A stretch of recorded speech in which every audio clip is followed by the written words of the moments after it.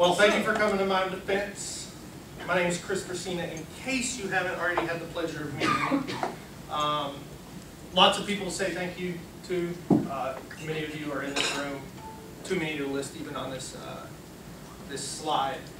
Um, for some of you that are at uh, attending remotely, um, to give you a quick background, um, I'm part of the third lab, and we like making um, educational tools.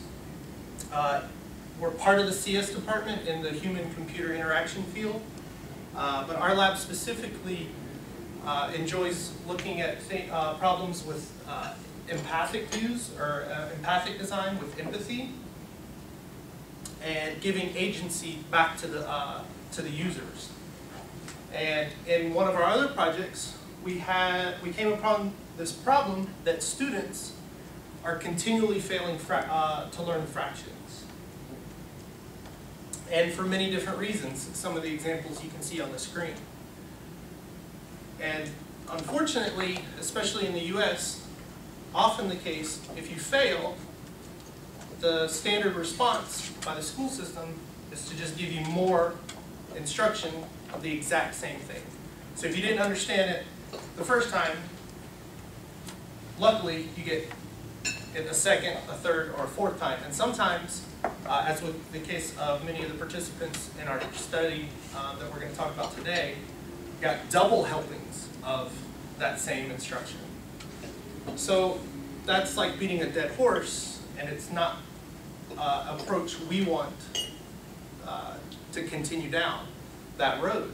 So what we tried to do is we looked at what the students were doing, and they were very disengaged, and they were actually just tapping on the desk during the math class. And it shows that they're disengaged in math, but they're engaged in music making and drumming. So they're off in their own um, dream world, doing what they want to do. So that's our approach.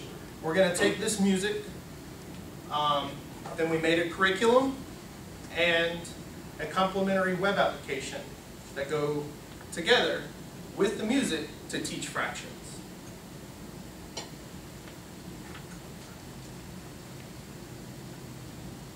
So our motivation, today we're going to talk about the motivation, some of our research questions, the two most important parts of this uh, study, which are the curriculum and the interface, the, the web interface that we made. Uh, we're going to talk to you about our participants, some of the data that we collected, and how we analyze that data.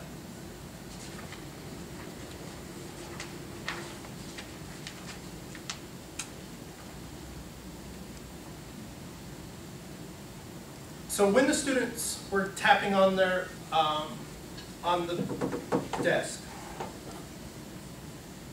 and they're not paying attention to the math,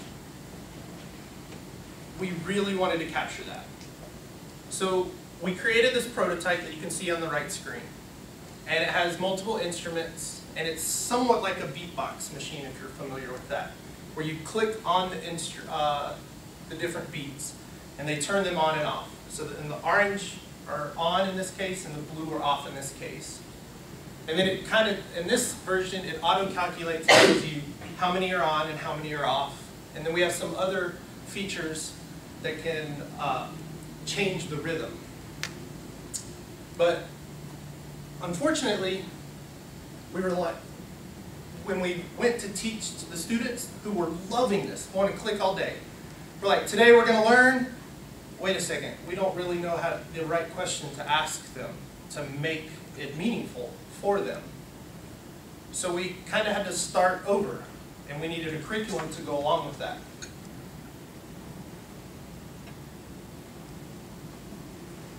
So the research questions for this study are how can a micro world that utilizes multiple representations provide learning resources to address student misconceptions?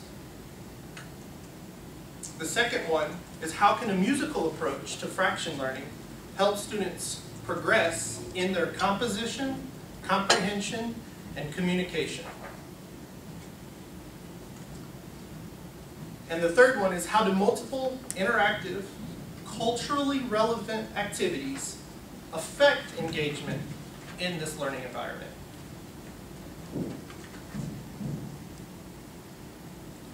So I'm going to talk about the interface that we made. And you can see it here on the left. There's made up of three instruments. The third one isn't, uh, doesn't have any representations because they're not using it in this uh, screenshot. The first one has all of our representations with five beats alternating, uh, starting with the first one on. The second instrument, the snare, has four instruments. Four beats. Four, four beats, correct. So the first instrument, if you were to tap that out, it would sound like this.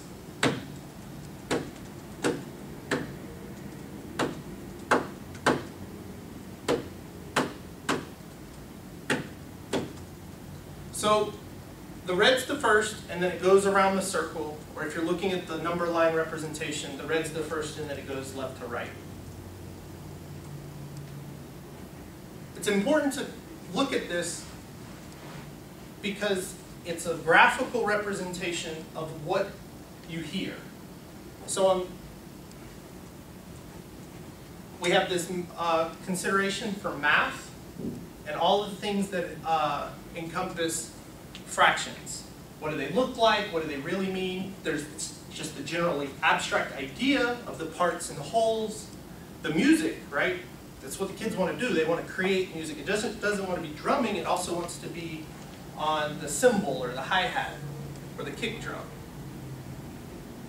And then we also had to add in other elements for our study so that we can keep track of what each user, who they are, what they're doing, what they're not doing. And it has to be, it has to look good. If the students don't know what to do either, if it's not, if the interface doesn't make sense to them, it's not going to be approachable. So let's talk about the representations we have. The first one, the audio, you can kind of think of this like a metronome. Um, it flashes whenever a beat plays, or when we have this uh, additional functionality that we allow that the first prototype didn't have, we allow the students to tap in their own rhythm, and the sound of fractions will record that and do beat analysis and make a, a, graphical representation based on that. So if they're tapping, that, that most likely sound of fractions would interpret that as four beats, all turned on, and approximately the same uh, circumference uh, that you see.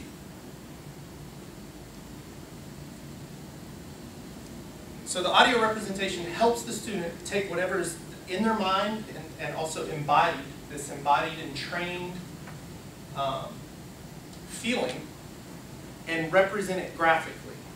That kind of helps them understand the other representations that we have, which we call the core four. The line, the pie, and the bar, those are pretty traditional mathematical representations. You'll see this in any standard um, textbook uh, or testing. But our novel contribution is the bead. It's modeled after rosary beads or necklaces. And it has a whole bunch of properties that we'll get, uh, we'll get into. But if you were to hit play on the sound of fractions, this is what you would see. And it doesn't want to play. That's because it knows that Yes. you're actually, because yesterday this worked. It wants to think. Yes, it's always the way. It works in companies, Best guesses. There we are. Audio.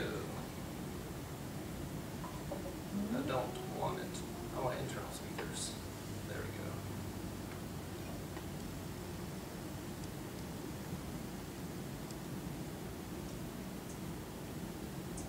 something. But I don't see it. Don't see it. That's not what it's supposed to do. I mean, it is supposed to tap. No, We'll try it.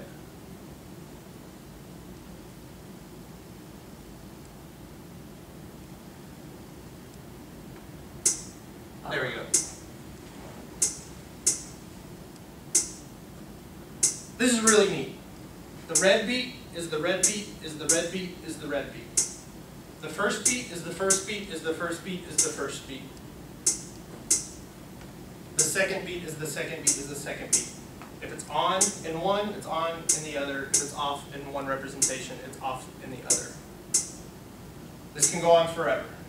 And many of the students do enjoy listening to it play repeatedly.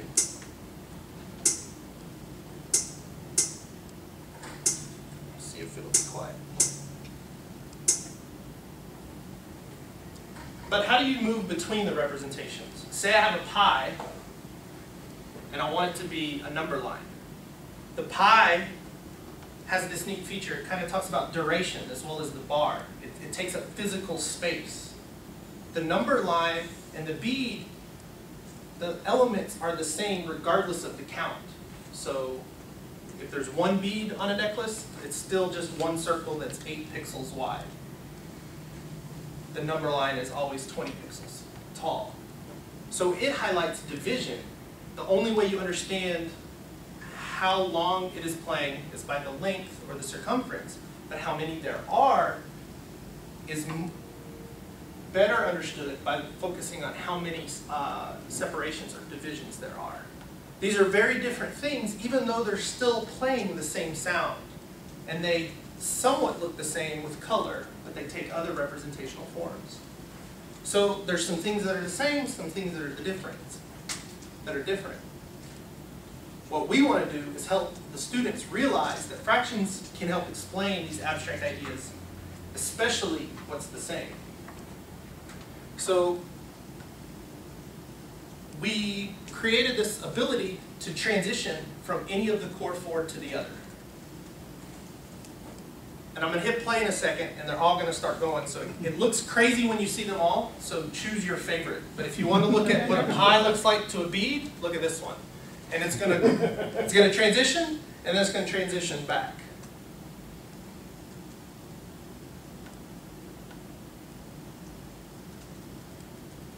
So while they're transitioning, our goals, which are also kind of highlighted in the static representation on the left screen, is to keep the colors the same, to keep the order the same, to keep the count the same, to keep their uh, state the same if it's on or off throughout the representation, or transition. This really helps students understand that it is the same thing. You can look at these online uh, as well uh, on the specialorange.org slash thesis. Then we have this neat thing, okay, what is it that we're talking about? Well, we question, we propose to the students to start labeling what they see. But the students start realizing you can label the same thing multiple ways or multiple things the same. And this is really interesting because especially in, in the first group, they started getting confused because they're, wait, what were you talking about? What were you talking about? Wait, you were talking about the same thing. And so I had to create this matrix on a, on a whiteboard. Um, and this is, uh, represents it on, on the main screen. And so they started to understand that you can describe the order, the quantity, the size, the duration, or the type. And then within each of those, you can describe the parts or the wholes. So here, if we wanted to take to describe the size and the part, they realize they can even describe the parts in two different ways. How big they are by themselves, or how big they are in relation to the whole. So they could label each beat either one, or they could label each beat one-fifth. And there's many other examples. Here are some examples of the students, and Latasha does something extremely amazing on the very last day uh, when we introduce uh, labeling. And she takes what's on the first, the third, and the fifth, and she breaks that into its own whole and labels them one-third, one-third, and one-third. And then the two that are off, she breaks that into a completely separate whole and labels those half and half. This is, uh, in the mathematical schema literature, is one of the most complex things that lets us know that they're starting to understand fractions. If she does it more and more frequently, then we can be better able or better poised to say that she understands fractions.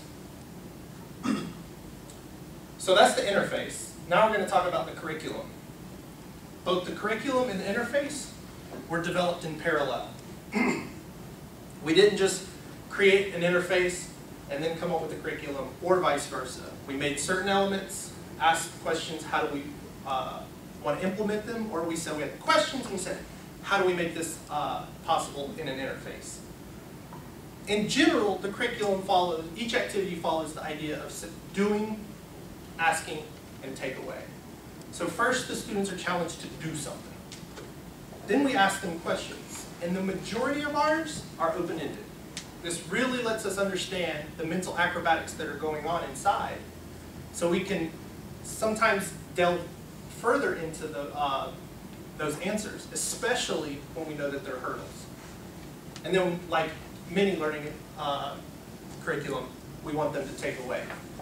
Sometimes we have a task that we ask questions multiple times, two and three times. You can see the full curriculum on the website. Um, but we do have a blank lesson plan here, and then this is from day three, activity three, and you can notice that there's three activities that we did do.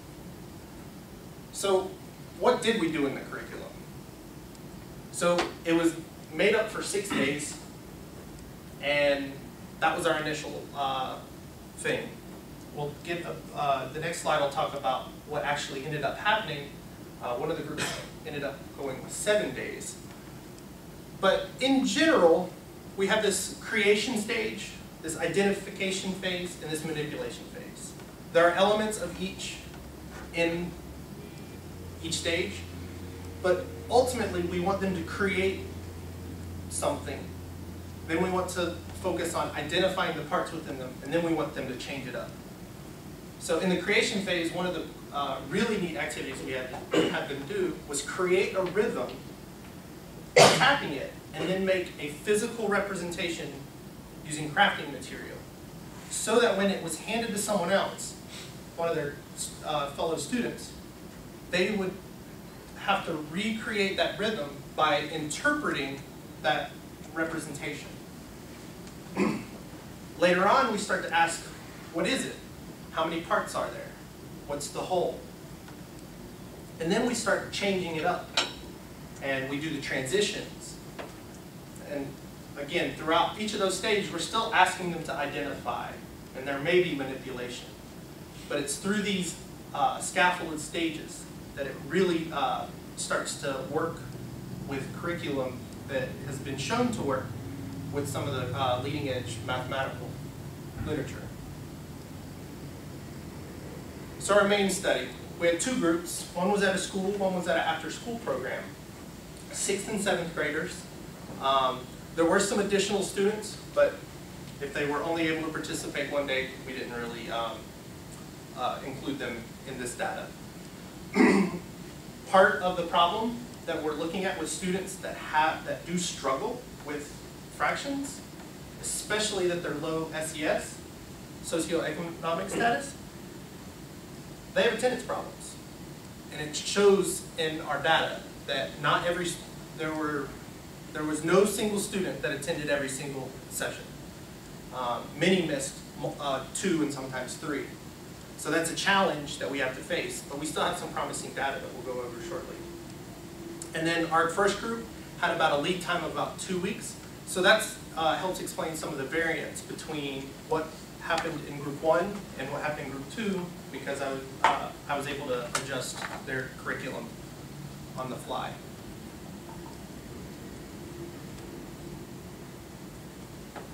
So we collected a whole bunch of data, just absolutely crazy. Every, every study does. What's important to know is the four different data types that we have. We have video, log, notebooks, and artwork. The video is the um, camera, the video camcorder and static uh, cameras images of them performing uh, during the study. The logs are when they're only operating with the sound of fractions. The first two days we didn't even introduce the sound of fractions. Those were more focused on drumming activities, collaboration, and discussion, more embodied approaches, not so much tech, uh, technology assisted. So once they are in um, operating with the sound of fractions, we want to know who it is, what they do. We keep it in uh, quite simple sentential form. There's an example. And then there's the actual JSON data structure of their rhythm once they've performed the action. And that allows us to do some pretty things. They're notebooks. Um, they're physical, but we took pictures. Uh, you can navigate their data on, online as well. Uh, here, this is the very first uh, activity that we start off with. What is a fraction? You can see it's very terse. It's not really meaningful. Um, and it doesn't really speak uh, to what a fraction is. Um, a neat thing, I'll, I'll, go ahead and mention, if you ever have kids and you want to talk about fractions, the literature and my study highly suggest avoid talking about halves. Students are, the kids already get that immediately from birth. And there's complications when you talk about half. We'll, we'll even show you an example later. But talk about something other than a half. So it's funny that they want to say a fraction is a half, and they feel that they know fractions. And then the artwork. So those representations that the students made of their rhythms, this is one of the most complex, uh, and it has recursive elements in it. Basically, the student is saying, after I go one step to your right, take the pipe cleaner back and keep doing this. Very, very uh, interesting. Yeah. yes, yes, yes. They do understand that it is important. That's clear. The question is, uh, what? Why do they think, or what domain they think it's important?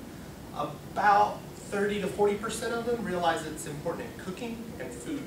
Um, and then there's, of course, the rest. Everyone says it's important in math.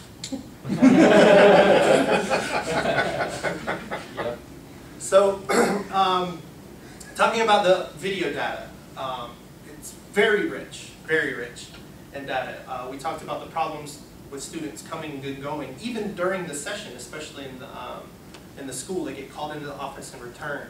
So it's hard to keep track with, from an analytical standpoint, of what each student has been exposed to, because sometimes they're absent for uh, sub-activities or activities. So I created this way of documenting it. Um, on the main screen, that's the, uh, the legend. So you can see, if you look vertically, you can see what's happening in a particular activity. Or you can follow a student's um, learning progression by following that stu student uh, horizontally. And you can look at it from a high level by day. So the yellowish gold is group one, and the uh, teal is group two. And then you can see that in group two's first day, it has a certain amount of time. There were four main activities that have meaningful uh, contributions. If you were to then follow group one's activity three, or in day three, so not this one, but their first activity, these are all the things that happened during that activity with the sub-activities, the questions we asked from the do, ask, takeaway. This is the doing and the asking parts. And then the relevant information. It has a temporal element, so things that happen first are on your left and things that happened are on your right, and linking to talk about students that are interacting with. And we have a separation with a solid line, meaning this means to a particular student, and if it's hashed, it's more general. The video data is available up here as well if you would like to uh, take one look through. The log data. Um, this is more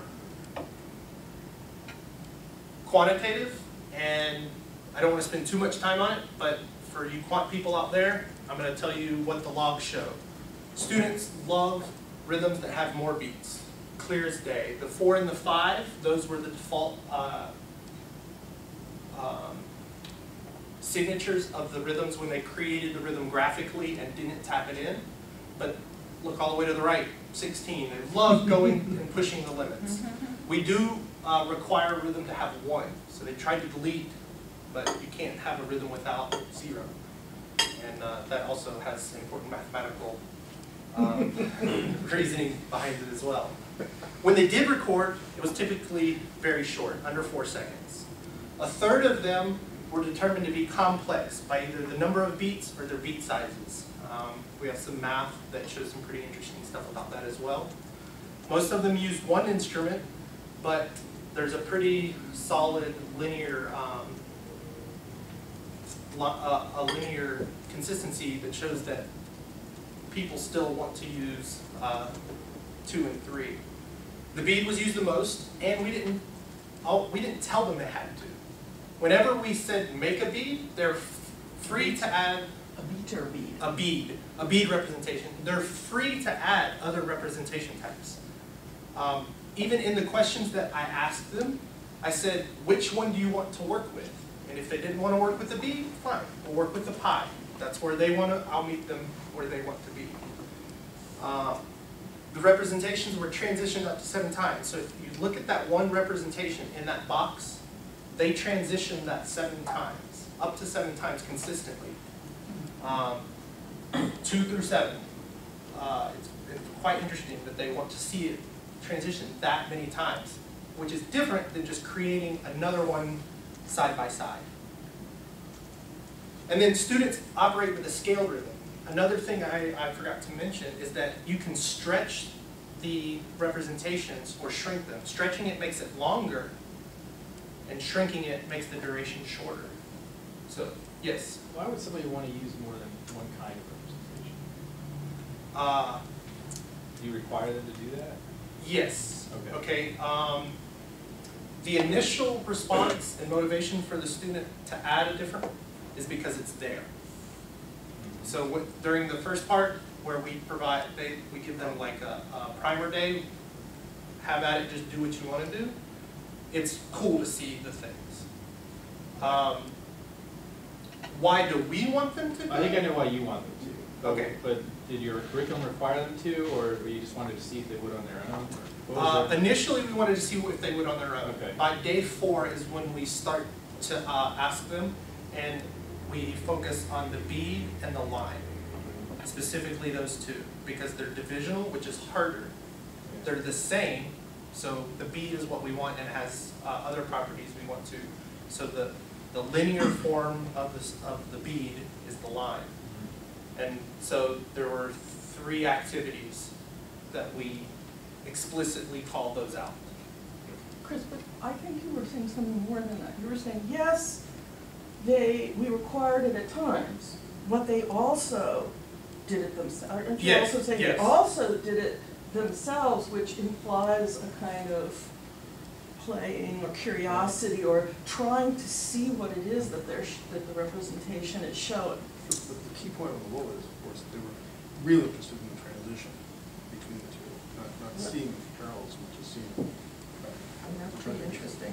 which is really interesting. Okay, thanks. It is true that transition looks, Well, it's up to the rules. Yes, they do. Uh, Yeah, yeah, it's- That is, that is a contribution of ours that, uh, in any language, uh, it's hard to even describe searching it, that code did not exist. Um, And so uh, our approach, uh, which is implemented in D3, um, is open source now as well. was that six months? Six months of Yeah, implementation yeah. problems, It's, right? uh, It's, it's, it's very interesting. Uh, it- um, there's an interesting crowdsourcer who, who has a mechanical Turk problem where he asks people to draw one sheet facing to the left. And out of ten thousand responses, he gets one that says why. And, and so I post this question in a, in a, um, Stack Overflow in Open Community to ask, how do I even approach this? He, I can draw it, I can show you what I want to do, but when my programming skills don't even know how to approach it, I just need guidance in that. So one of the uh, best D3 persons in the community is like, I have no clue why you want to do this, but this looks interesting. So we stayed in communication and he, he, he enjoys it. Nice. So one of the other types of uh, data are the notebooks. Um, we distributed them daily, collected them. Um, they were allowed to write in them. Many of them did take notes. Uh, and we did prompt them for answers. Over time, their notes became longer, more detailed, and more precise. And here you can see an example of Jamie's um, answer to what a fraction is. Without even reading it, you can see one's short and one's long. The important parts uh, that you can read in here is that, so her first question is that a couple of numbers that you have to solve. Um, that's very in line with what um, many of the students describe it as a problem. And in her um, answer later, the first half is a more mathematical definition. It's stronger than the first, but not extremely robust. The latter half are her explaining fractions in terms of sound of fractions. So she's using our uh, representations, our interface, to help try and explain the relationship between the parts of the whole.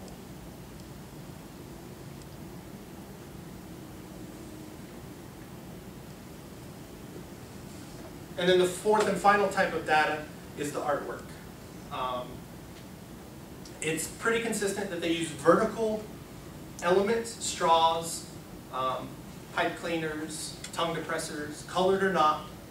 Uh, most of the uh, artifacts we had, we had both in colored and non, um, non-colored versions.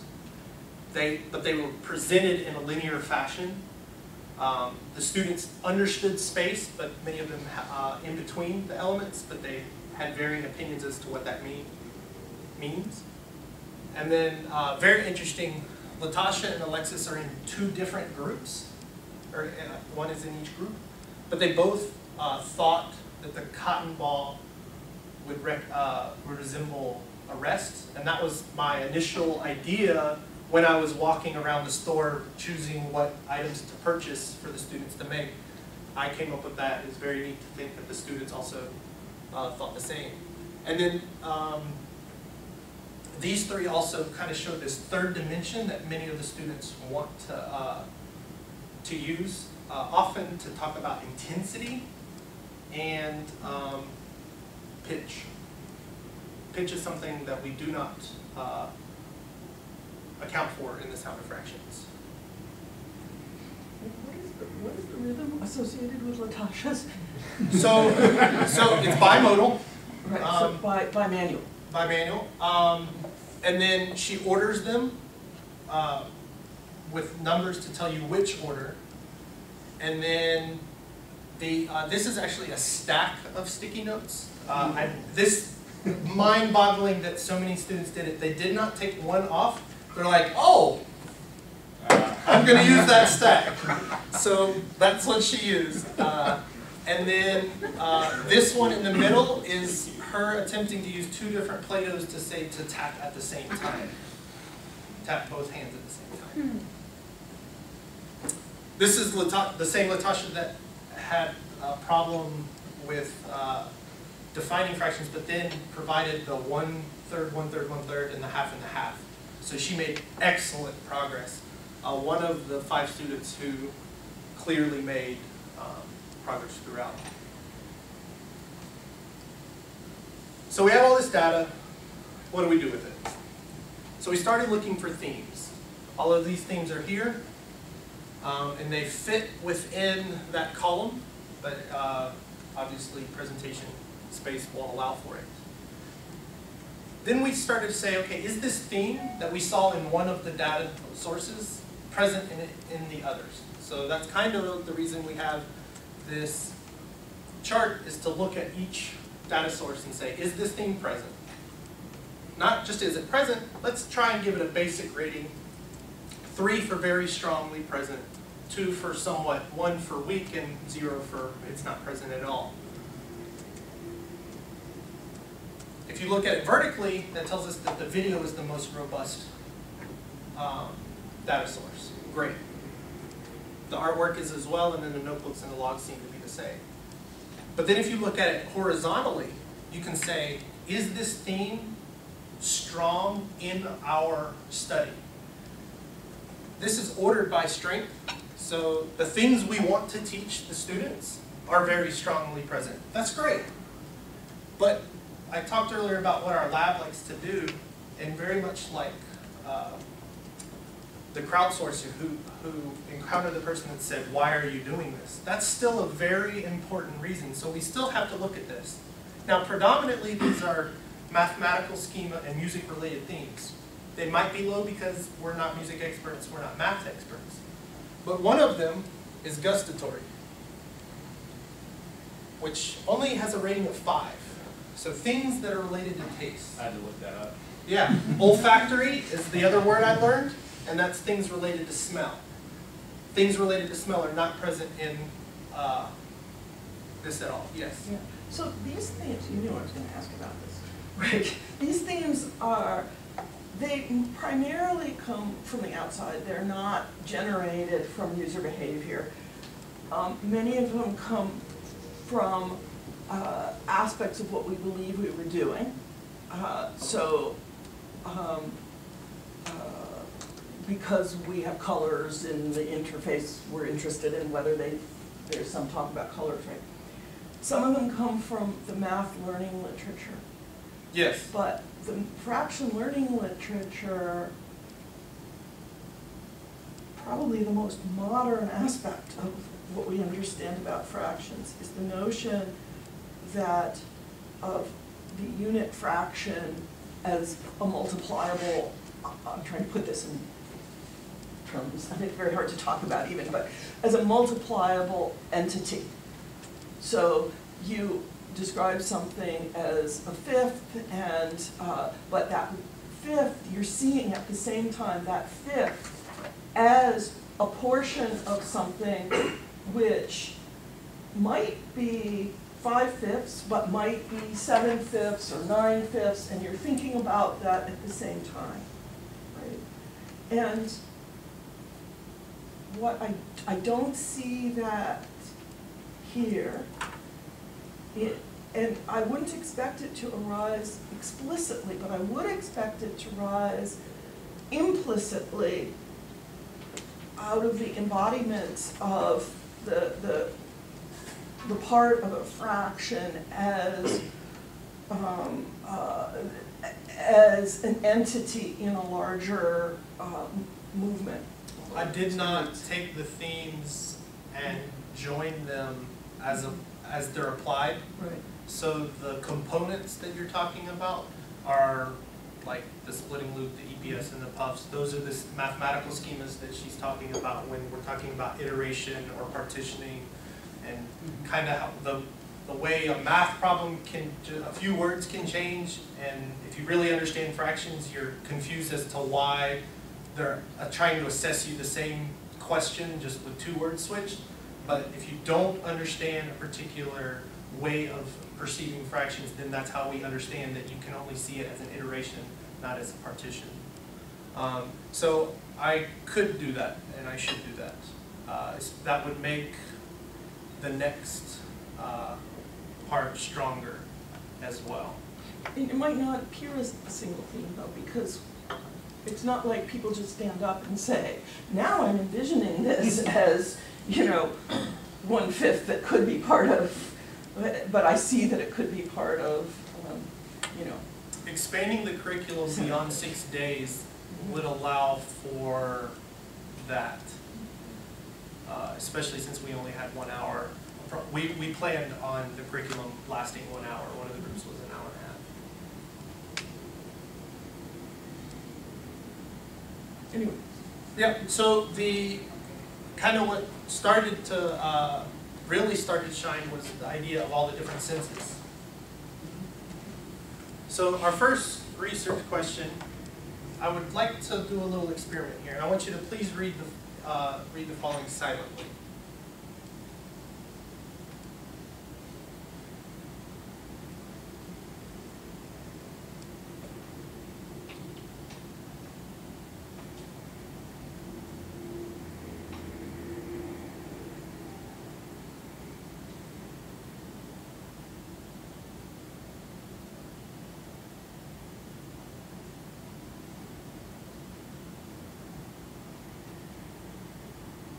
Now, I would like to invite you to close your eyes while I read it to you.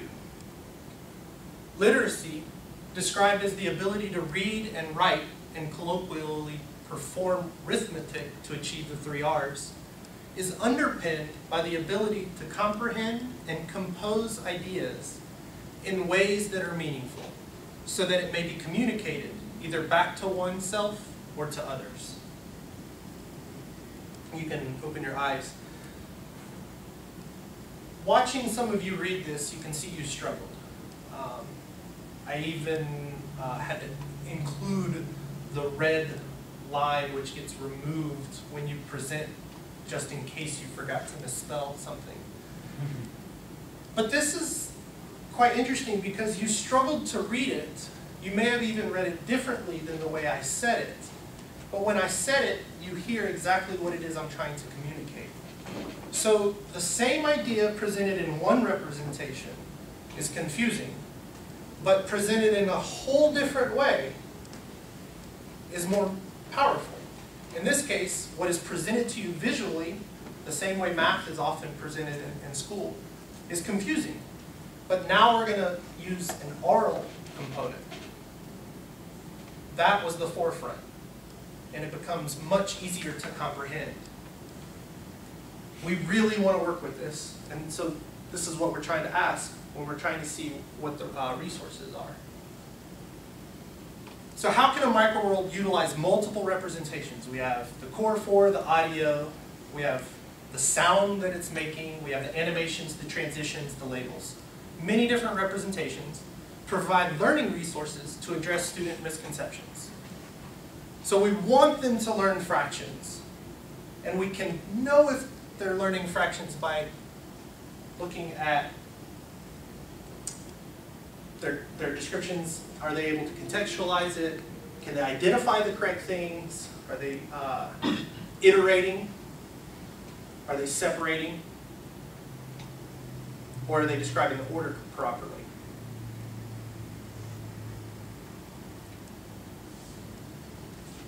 So let's look at where math currently is. We have word problems, equations, graphical graphical elements, and the always famous real-world problems. And they assess them in standardized ways. Ask them to label, give them equations, or perform mental math. But where does sound of fractions fit in? They're not competing, but they're different.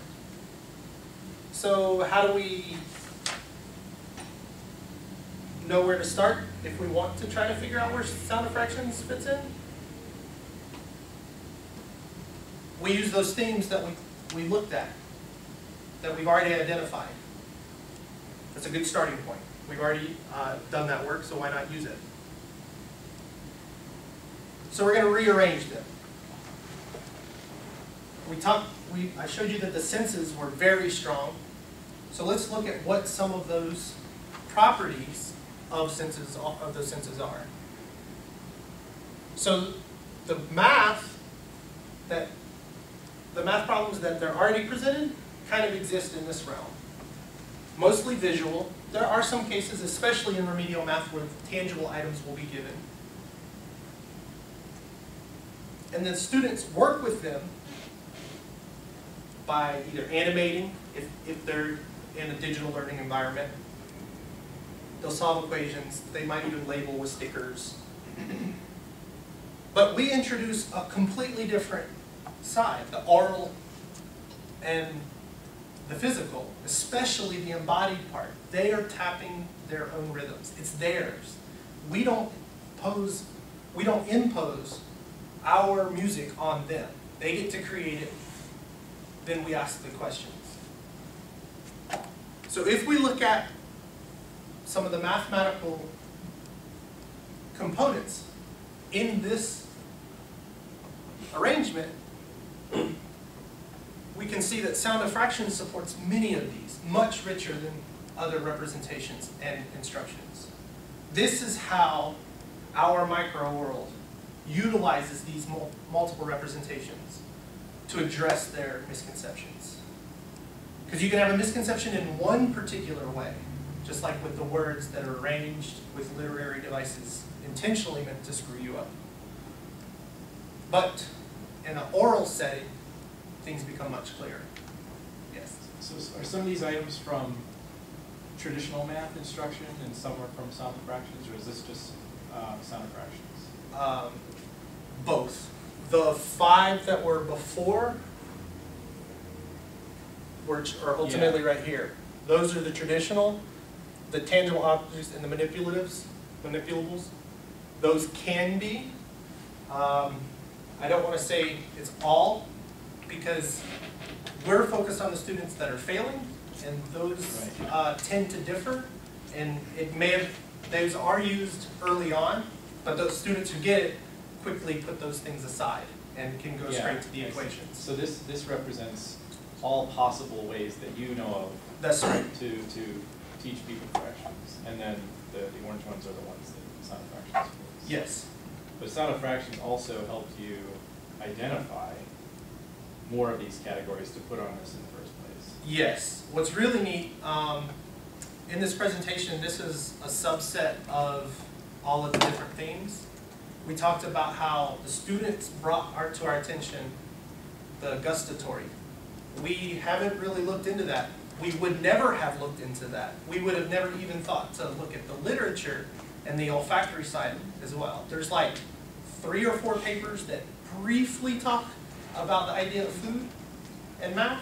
There are no papers that talk about smell and math that I can find. Doesn't mean they don't exist, but it's quite clear. Thanks. So our second research question is how can a musical approach to fraction learning help students progress in their composition, comprehension, and communication?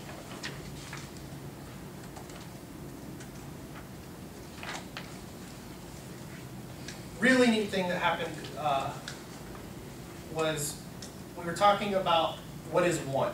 What is one rhythm? What is the number one? What happens if I write the number one this big? And what happens if I write the number one this big? They're both ones, but they're very different, especially in how much real estate um, they're taking up. Just luck of the draw, what is one over one? The students answer one. What's two over two? The students answer one. What's four over four? They answer one. What's ten over ten? They answer one. Fourteen out of fourteen came out of my head, and there were like one or two students that said one. So I increased it to eighteen out of eighteen. It dropped about half, twenty-one out of twenty-one, and there was only one student who just kept, it was more clear that he was just saying one, one, one, which would have worked and we wouldn't have, uh, solved this very interesting phenomenon. But this is because certain representations only, they can create this misconception that one over one. If, if they're only pros with problems that are dealing with units of ten, they can solve that. They're failing to make this idea that it's a bigger abstract problem. Another neat thing is, when a student comes into a problem, especially if you're lower SES, you're continually faced with failure. When it's something that you just don't get, you give up. That didn't happen with us. When we posed a math question with a rhythm that they created that was rather complex, or at least theirs, the math problem was out of their reach. They reduced the complexity of their music so that they could attempt to solve the math problem. They did this without us telling them. They tapped five beats, they made, they made a rhythm with three. They tapped ten, they made a rhythm with five. Still couldn't get it, they reduced it to three. There's problems, mathematical problems, when you reduce it to one. We would help them not uh, reduce it that, that far. But they have their own agency that allowed them, and they have their skill set in one domain, the musical domain, that they can then change so they can, they can approach the mathematical problems. The which, which comes first, if you ask them what comes first, a rhythm, the second beat of a rhythm with five, or the second beat with a rhythm of four? That's extremely complex. That was like the second time we did it. We started with which comes first, the second beat of three or the second beat of four? And they, so it's neat because we can refer to it as the green beat. The second beat is green always in our representation from our color choices. So we can say, what, which green beat plays first? That's a musical question to directly get to the mathematical uh, question of which comes first. You ask a student, how many beats are in that rhythm that you just tapped? Tapped. Sometimes they would talk about all of them. Most of the times they would say, they would describe either the beats that were on or the beats that were off. This is very different than some of the questions that are in math books that are shaded, which are drawing your attention to one, because they don't know what the unshaded is. Here, they can't, they still can give weight to that rest because it is something that they're feeling inside as an embodied uh, or an entrained feeling.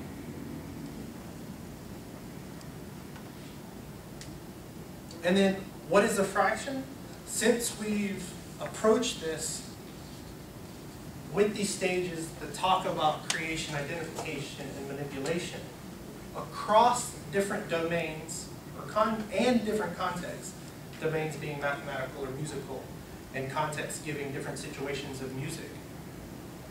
They're starting to learn the more abstract approaches, or at minimum, an internal function or approach or steps that they can take a mathematical problem, turn it into a musical problem, answer it musically, and then bring it back to a math problem.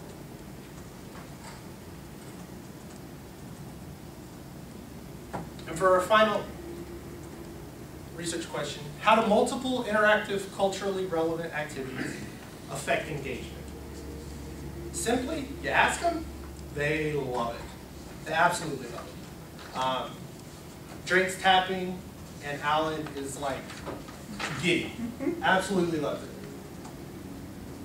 We asked this day two, day four or five, and day six and seven. It's I love the music, I love tapping, I like the computer. Now some of those, I'll play devil's advocate here, some of it is they don't get computer time, so that's different. That's something. This is also a different class, so it's different. Doesn't matter that it's novel, it's just different. That also could be the case. But just looking at their faces, you can tell that it, there's definitely positive valence associated with uh, their answers. We give them multiple representations, both graphical in the sound of fractions, oral with different instruments, and then just it's a different sense that we're also doing. We have this bead representation, and there's the list of all these different characteristics that the bead elicits. What's really interesting is it take at least one, at least a characteristic is tied to another representation or another mathematical meaning. It's the central point of all of these representations.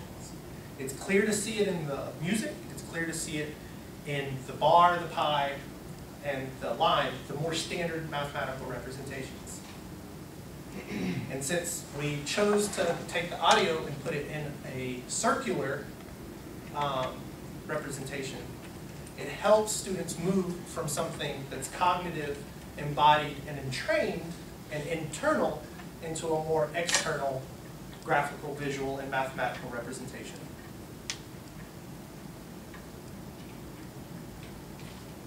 And our representations are rich, both graphically, orally, all these different domains. And then we allow them to transition between them. So they can see what's conserved, what's not, what's important, what's not, the parts, the wholes, at the same time.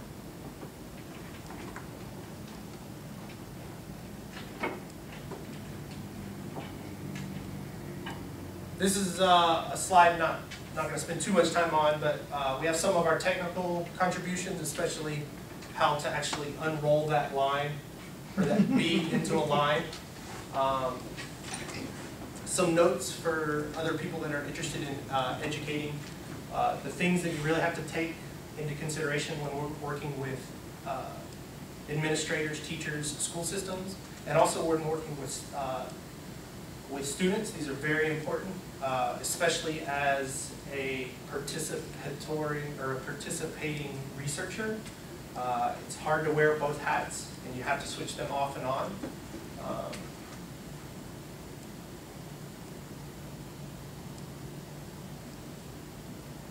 The future work, specifically with this study, um, one look at the log data. Um, we could go, uh, it wouldn't take much work to turn it into quantitative data. Um, the video data still needs further thematic evaluation, as Deborah pointed out, um, and a better progression from one, uh, or as the steps move. As I move between the steps of analysis. Um, we have to consider some of the headaches that deal with larger scale deployment. Um, I can't be in every single place at once, nor can any single uh, facilitator. So how do we provide resources for the teachers? And how can we have other um, manipulatives or devices. So what happens if we were to throw this on an iPad where you can touch it? Um, it would make it more appealable or uh, approachable for uh, the school systems. Plus you get the tactile feedback.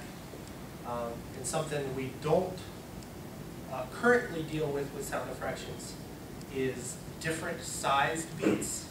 Um, we handle that by taking the greatest common denominator of the uh, representations to keep it in a unit fraction, since we want to start with it, uh, uh, that mathematical concept. So if you had a, an iPad where they're touching and holding longer, you could interpret for multiple beat sizes.